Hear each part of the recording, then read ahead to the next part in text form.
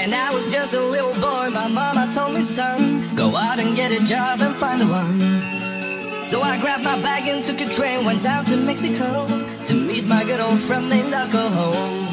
Tonight we're gonna have some fun this time. We're gonna get real drunk tonight. I'm gonna chug, chug, chug, and we ain't never gonna stop. We ain't never gonna stop. We ain't never gonna.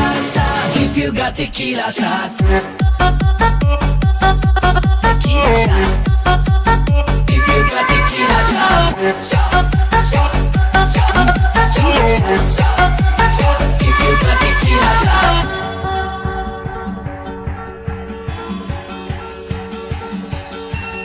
Well, it's one shot, two shots, three shots down,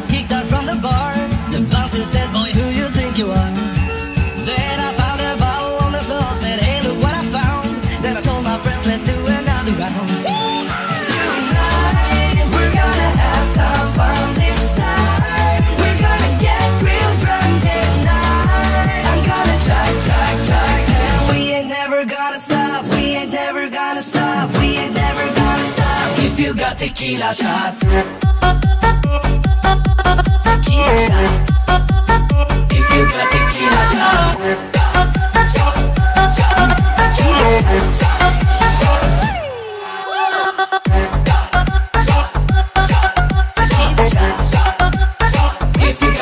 y